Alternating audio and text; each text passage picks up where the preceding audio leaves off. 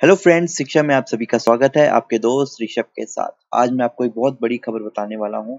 जैसा कि आप सभी जानते हैं कि चेन्नई सुपर किंग्स हमेशा देश के लिए कंट्रीब्यूट करती है, चाहे वो आर्मी को सपोर्ट करना हो, चाहे आर्मी को ट्रिब्यूट करना हो, इस बार भी उन्होंने एक अलग बेहतरीन काम किया है, जिसको जानकर हम सभी देशवासी को खुशी होती है। जैसा कि सभी जानते हैं कि महेंद्र सिंह धोनी अपने फैंस का कितना ख्याल रखते हैं तो इस बार भी उन्होंने कुछ हट कर करके दिखाया है। जैसा कि हम जानते हैं कि अभी टोक्यो ओलंपिक 2021 में भारत ने काफ़ी अच्छा प्रदर्शन किया है।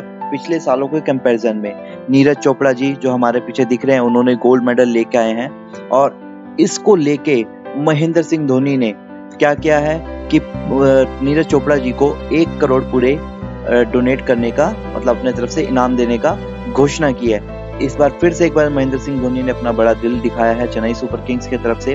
उन्होंने एक छोटी सी भेंट दी है नीरज चोपड़ा जी को। तो जैसा कि नीरज चोपड़ा जी ने पहले खिलाड़ी बने जो 2020 में हमारे टोक्यो ओलंपिक 2020 में गोल्ड मेडल लेके आए और हमारे देश का नाम रोशन किया।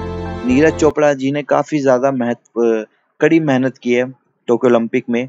उनका संघर्ष और बहुत चीज़ें दिखाता है। पानीपत के रहने वाले हैं नीरज चोपड़ा जी।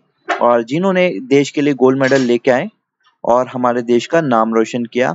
सो हम सभी जानते हैं कि नीरज चोपड़ा जी ने कितनी मेहनत की है टोक्यो ओलंपिक में गोल्ड मेडल लाने के लिए। सो अगर आपको वीडियो पसंद आई हो तो प्लीज़ लाइक शेयर सब्सक्राइब और कमेंट करना बिल्कुल ना भूले।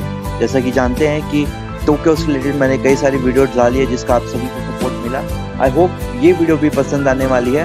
तो और इसके साथ मैं स्पोर्ट्स से लेके भी कई सारी चीज़ें लाने वाला हूँ। तो आई होप अगर पसंद आई हो तो प्लीज़ लाइक शेयर सब्सक्राइब और कमेंट करना ना भूलें। थैंक यू मेरे दोस्तों।